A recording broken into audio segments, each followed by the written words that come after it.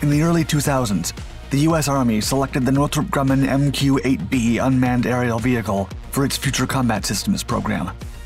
As such, the impressive rotary-wing drone was assigned to three main types of missions reconnaissance, attack, and resupply.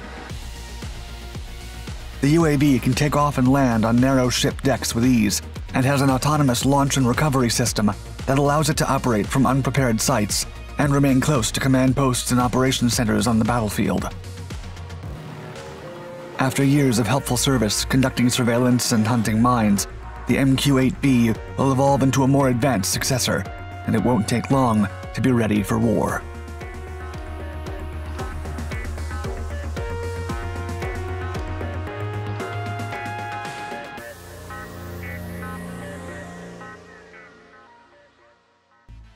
Rotary Wing Drone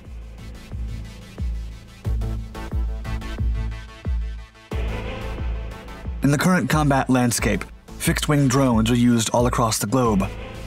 Yet the complications in aerodynamics regarding unmanned helicopters have dragged their development. Helicopter drones certainly have considerable advantages against their fixed-wing counterparts.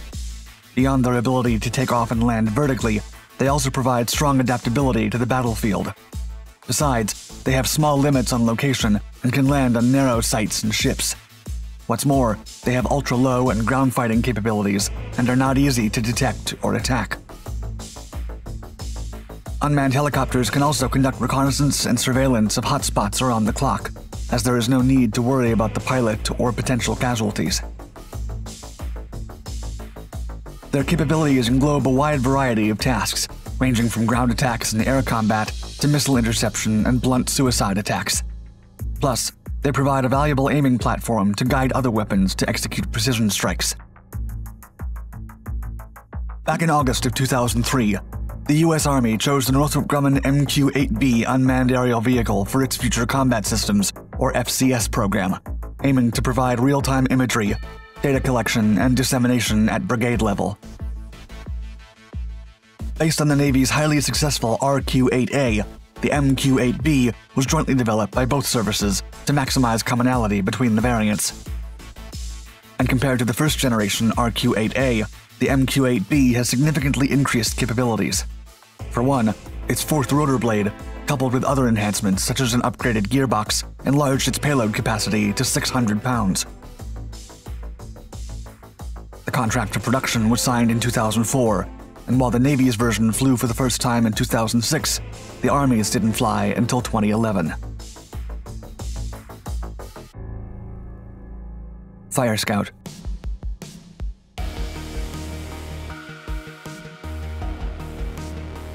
Due to its onboard sensor suite and laser rangefinder and designator, the MQ-8B can detect, locate, identify, track, and designate targets quickly and accurately as well as carry out battle damage assessment. The so-called Fire Scout also retained the original main structure, engine, rotor, and an improved transmission system. And based on the application of 330 helicopters, the drone's shape was optimized to increase its speed, fuel tank, and battery life. Schweizer supplies the airframe, which it modified and streamlined for aerodynamic purposes based on its 333 manned helicopter. Moreover, the MQ-8B can stay on station for up to six hours at a distance of 110 miles from launch, as it has a larger fuel capacity than its predecessor. The vehicle is 23 feet long, while its 27.5 foot diameter rotor is folded for storage and transportation. Powered by a Rolls-Royce Model 250 C20W engine, the drone has a capacity of 313 kilowatts. Another essential feature is the drone's plug-and-play modular task load, or MMP. Basic modular mission payload configuration incorporates an electro-optical infrared, or EOIR camera, a tactical synthetic aperture radar and moving target indicator, a communications relay package, training sensor, mine, chemical, and radiological detection, and a laser rangefinder indicator, as well as audio and data communication. On the other hand, Fire Scout has been fitted with the Northrop Grumman Airborne Surveillance and Target Acquisition Minefield Detection System, or ASTAMIDS, since 2008. System applications feature day and night reconnaissance, as well as surveillance and target acquisition, in addition to minefield detection. Equipped with multi-sensor electro-optical infrared and multispectral imaging systems, ASTAMIDS is able to detect patterns surface emplaced or recently buried mines and randomly scattered mines. ISR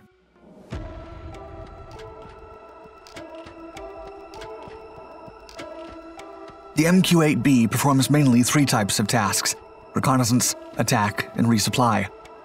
However, the drone can also function as a communications node due to its joint tactical radio systems and the Army's Warfighter Information Network Tactical or WIN-T telecommunications system. It is usually deployed on the littoral combat ship and surface ships, as it can easily take off and land on a narrow ship deck. And because it is equipped with 5.5 foot skids, as well as a conventional autonomous launch and recovery system, the UAV can operate from unprepared sites close enough to command posts and operation centers on the battlefield. In order to obtain target information and provide intelligence support for military operations, the Fire Scout can optionally perform MMP to conduct information collection, remote monitoring, target recognition, continuous tracking, communication relay, and several other reconnaissance tasks. In contrast, for executing attacks, MMP not only provides situational awareness, precision strike support, and battle damage assessment, but it can be used to mount Hellfire air to ground missiles and Viper strike small open spaces through short wings. Also, the drone's fuselage is fitted with sponsons on each side for carrying pods and weapons, and is able to launch guided bombs and APKWS 70mm laser guided rockets. Adaptable to fast paced and high intensity modern information warfare, while conforming to the non contact zero casualties principle, the MQ 8B ultimately balances reconnaissance and attack capabilities, becoming a useful asset for future combat. Unprecedented advantages.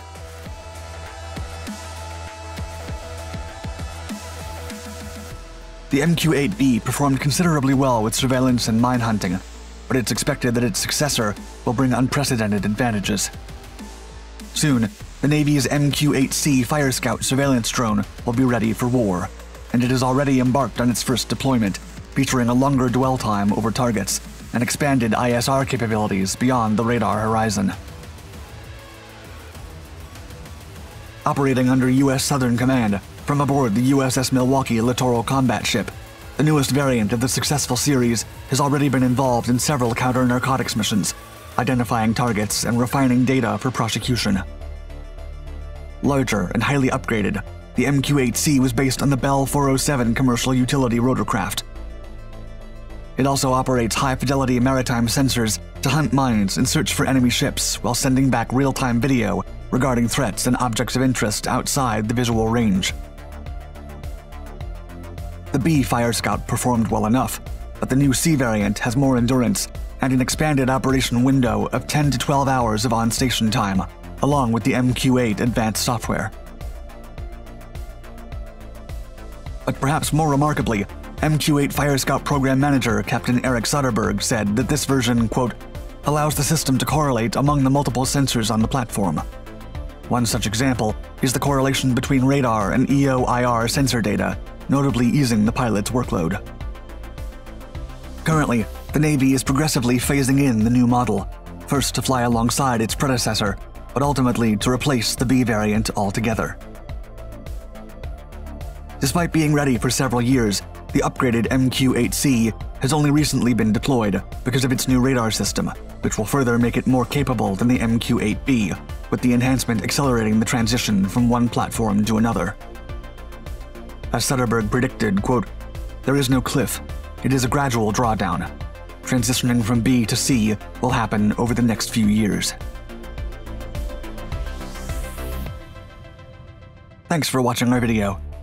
If you enjoyed it, please hit the like button, and don't hesitate to subscribe to all our Dark Documentaries channels. And for many more stories about military technology and developments, make sure to click on the bell icon to be notified of our newest content. Stay tuned.